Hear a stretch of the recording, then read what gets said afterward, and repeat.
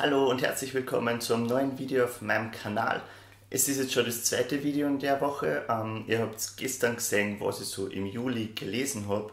Und heute schauen wir uns an, was ich im August lesen werde.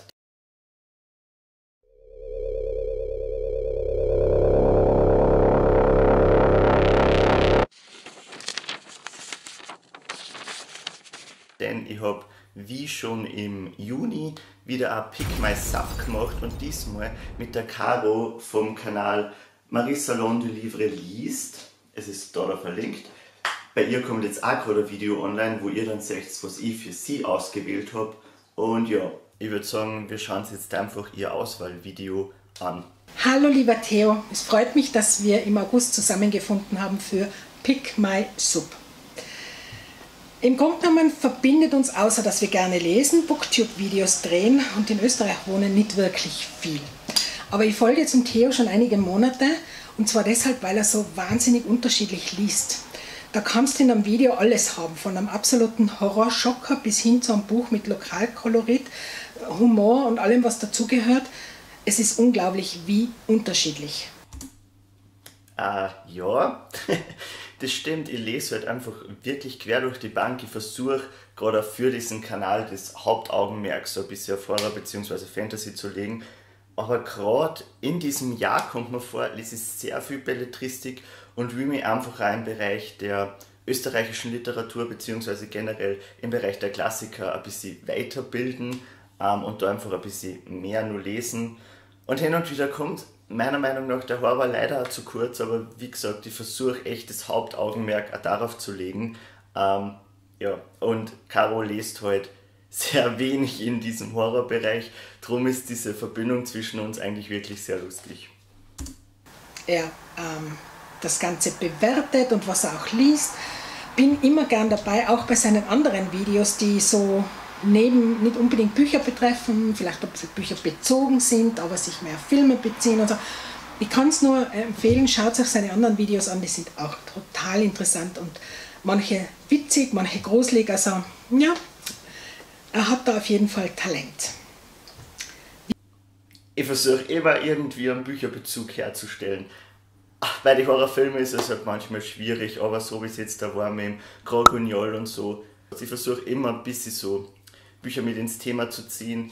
Ähm, Finde es aber einfach cool, andere Themen auch ein bisschen anzusprechen, die halt auch teilweise den Horror sehr betreffen. So wie auch American Horror Story ist halt einfach ähm, das Werk, das irgendwie alle Horrorfilme und andere Horrorbezüge verbindet miteinander. Aber um das soll es jetzt nicht gehen. Ähm, wir schauen weiter. Wir haben uns also entschieden, zwei Bücher aus unserem Sub zu wählen und eines frei. Als mir die zwei Fotos von seinem Sub gemeldet hat und ich sie mir genau angeschaut habe, habe ich ja befürchtet, oh, ich werde nichts finden. Aber ich hatte tatsächlich gleich mehr oder weniger so einen richtigen Jackpot. Es gibt dort Bücher, die ich schon gelesen habe. Mhm. Gillian Hoffman sage ich da nur. Ausgewählt habe ich dann allerdings Bücher, die ich selbst ins Auge gefasst habe, schon möglicherweise in der Hand gehabt habe, aber dann nicht dazu gegriffen habe. Buch Nummer 1 ist The Doll Factory von Elizabeth McNeil. Das ist Kurze Unterbrechung, ich hole es gleich wieder her und sage zuerst, warum ich es ausgewählt habe. So, ähm, das ist das Buch, das Caro jetzt ausgewählt hat, The Doll Factory. Ähm, ich habe es mir fast gedacht, dass es vielleicht so ein bisschen in die Richtung geht. Das Ganze ist nämlich ein bisschen historisch. Es spielt 1850 und äh, geht aber, glaube ich, schon so in die Fantasy-Richtung, glaube ich. Zumindest, ja, das Cover hat mich sehr angesprochen. Das ist erschienen während dem ersten Lockdown, glaube ich, oder dem zweiten. I'm not sure. Und wie ich es eingerammt habe ins Regal in der Arbeit, habe ich mir gleich gedacht, das ist auf jeden Fall was, was ich mir besorgen muss. Ein Buch, da weiß ich nicht, gefällt mir das Cover oder nicht. Den Klappentext finde ich gut. Ich finde das Cover super cool.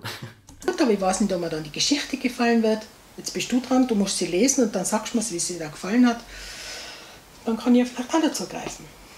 Und das zweite Buch ist von Cyril Patterson, Vardari Eisenwolf. Das ist der erste Teil. Kurz wieder unterbrechen und ich hole es. Das ist dieses wunderschöne Buch. Ich finde diese Cover so toll. Ich finde generell die Cover vom Atticus Verlag super. Ähm, von denen ist nämlich auch diese zwei Bücher, die ich auch beide noch nicht gelesen habe, ähm, die aber jetzt nicht auf dem offiziellen Sub liegen. Also ich finde die Cover dieser Titel immer super cool.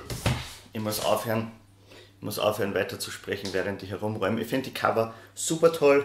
Ähm, das war jetzt offiziell auf meinem Sub und es steht da glaube ich auch schon ein bisschen länger und puh, das sind zwar schon etwas dickere Bücher, die da ausgewählt worden sind.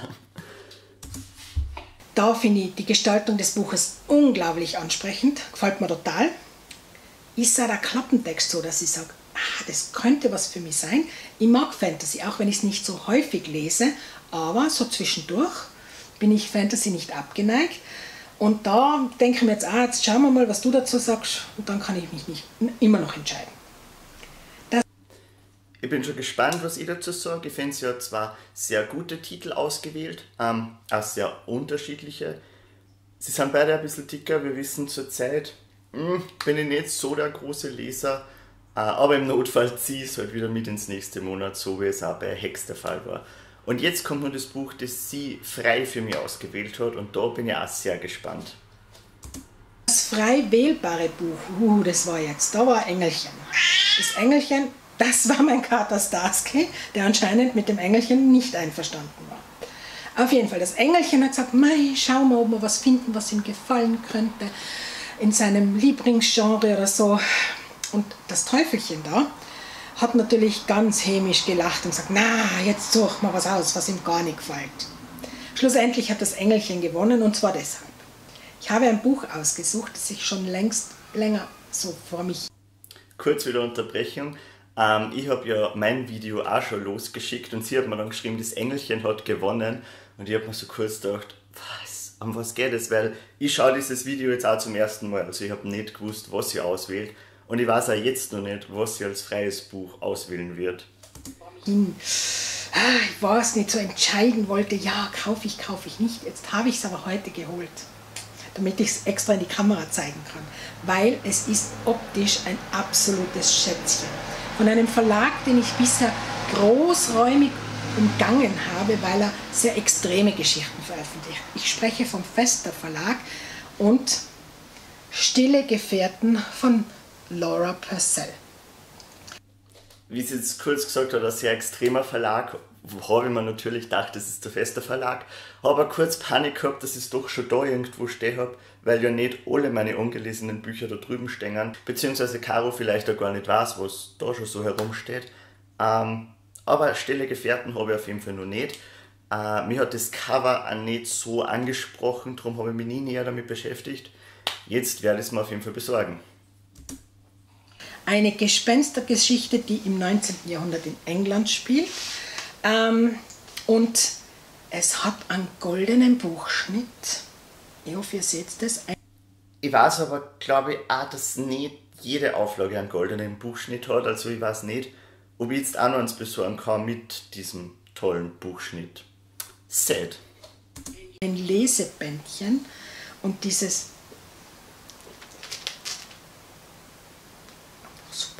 dann finde ich auch den Vorschnitt total schön. Und es ist einfach auch innen ansprechend gestaltet und die Meinungen, die ich bisher dazu gehört habe, waren durchwegs gut. Und jetzt denke ich mir, das solltest du lesen. Ich freue mich schon richtig drauf. Also habe ich meinen Sub wieder vergrößert, obwohl ich ihn eigentlich verkleinern sollte.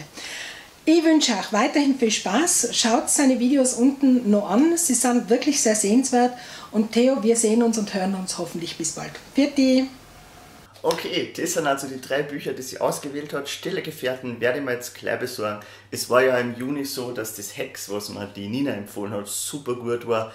Ich denke auch, dass die Caro da sicher was Gutes für mich ausgewählt hat. Ich habe auch drei Bücher für sie ausgewählt. Das Video verlinke ich euch jetzt einfach mal da und unten. Schaut bei ihr vorbei.